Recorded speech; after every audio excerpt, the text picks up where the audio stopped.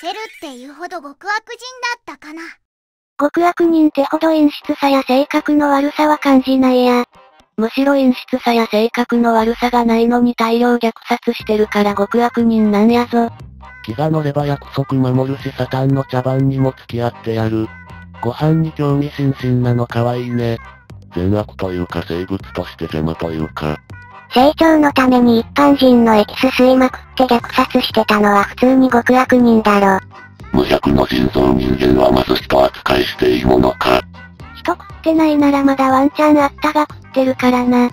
ぶっちゃけただの害虫みたいなもん。地球ぶっ壊すことに何の罪悪感もなさそうなので極悪人では罪なき人々を食らっておいてむしろ光栄と思うべきというスタンス。18号を取り込むためなら無関係の島の人々さえ爆発させる暴れっぷり。セルゲームの趣旨は自分の力の確認と人間たちが恐怖で引きつる顔を見たいからそれも時間をかけてゆっくりと。追い詰められたら地球ごと自爆。マジで極悪人の範疇よ。なんか変に紳士的キャラとして捉えられてることあるけど。言うて行動全部コンピュータから完全体になるためにプログラムされたものだと考えると結構悲哀を感じる。種の生存のための行動が人類の害になってるだけならただの害虫だけど、セル派完全体になった後も明確に殺人を楽しんでるから普通に悪人だと思う。例えば生きるために仕方なく殺したんなら話は違うけど、セルは人間殺さなくたって別に生きてはいけるのに自ら率先して殺してたんだからそりゃ悪人だろうよ。部下にパワハラや通り魔説教メスガキみたいな不快感はない。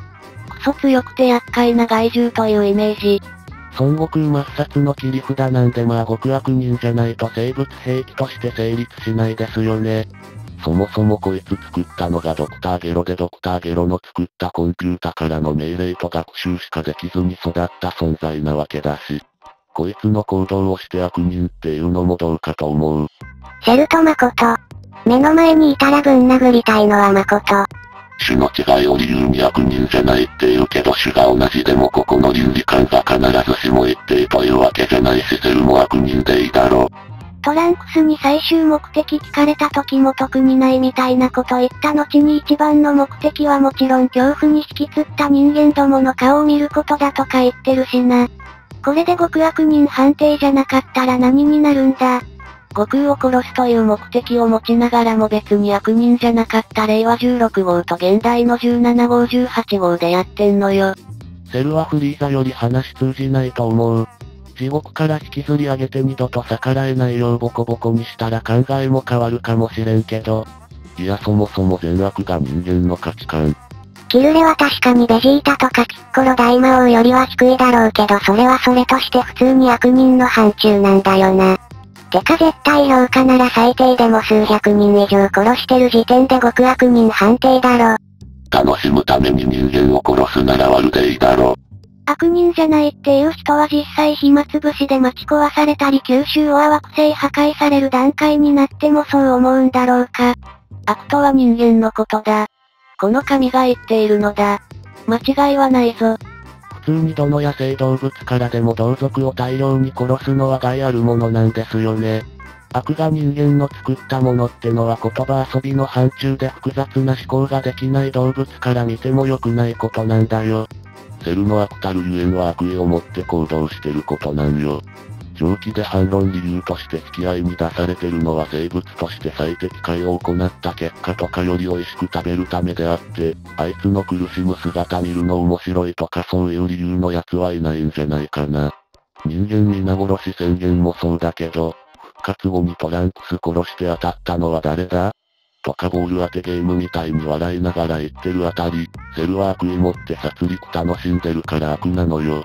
第一形態も生きるためなら別に人間吸収する必要ないし、私の一部になれたんだから光栄に思うべきなんて思ったこと言ってるし。地球の悪の組織の科学者が、悪の目的のために生み出した、悪を良しとする生命体だぞ。そもそもセルなんてレッドリボン軍の生物兵器じゃん。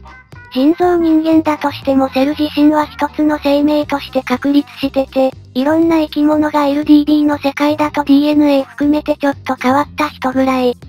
例えば人間が他の人間や生き物を生存以外のために殺しても悪人という価値観の上で、セルは生存のために代替の手段を取らず、自分が強くなるために生体エキスを奪って大量殺人して、さらに地球人類全滅させることを目論むから、人間の尺度で言って極悪人。地獄に行ってるのが答えていき、フリーザの残落性とサイヤ人の戦闘強を兼ね備えていながら明確な目的とか欲求がないからある意味純悪分より性質悪い。ただまあ完全体になれ以外教育なんて何も受けておらず与えられた本能で動いてるだけの機械ってのはちょっと物悲しいものを感じなくもない。平和の尊さとかを知る機会を与えられてれば、ベジータみたいに改心できたんじゃないかと。まあ教育するにはあまりにも危険すぎるから消滅させるしかないんだけどね。純ブーと同じだよな。邪悪な創造者に無責任に作られて世の中に放り込まれた。知性があったからこそブーみたいなおめこぼしは与えられなかったのかも。セルって言い方を変えると逆恨みで復讐を誓った科学者の生み出したコンピュータに20年以上胎児の状態で洗脳されて地中4年こもることにもためらいを持たないくらいの異常な感染体への執着心に持たされた挙句。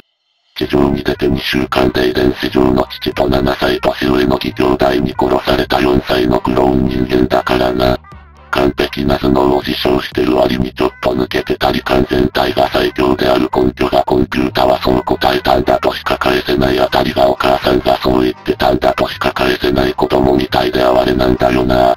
多分リング作ってキャッキャしてるような部分からそう思ったんだろう。愛嬌があるのは認める。せこいリングだ矢印フックかわいい。紳士的な態度は全部ご飯との対決で単なる坊主って分かったしな。自分より弱い相手が自分を楽しませる程度に強いうちは大物っぽい。一見フェアな戦いが好みに見えて自分より相手が強いとボディチェンジ仕掛ける技入と同レベル。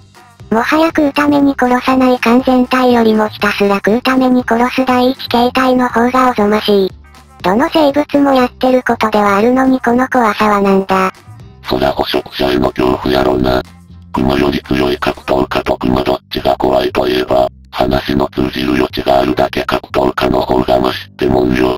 一般人にとっちゃ第一形態セルと会う確実なしだからな。自分から TV 局に行くわリング作って待ってる完全体派。理性じゃ怖いがいざ殺されるって時まで原始的な恐怖は薄い。むしろ第一形態は人間を食って成長する捕食者だから悪人というよりはただの人間の脅威となる生物ってだけ。人が豚を殺して食うのと一緒でセル本人にはそこまで悪意がないんだと思う。その食うためが純粋な生存やその上での繁殖のための糧じゃなく、個体としてただ不必要なまでに強靭になるためだけって歪さを感じるからじゃないかな。フリーザ、バビディあたりは悪人。セルは害獣。